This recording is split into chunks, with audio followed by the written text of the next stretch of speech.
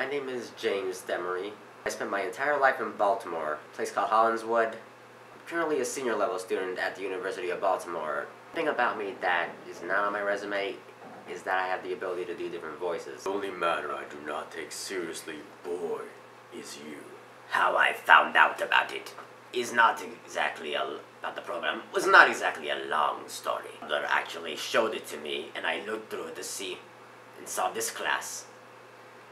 And I simply thought it would suit my needs best. What I've learned from being here? Well, I'd say I was learning much more about the Adobe Photoshop system. Once I get the hang of it, it's all good.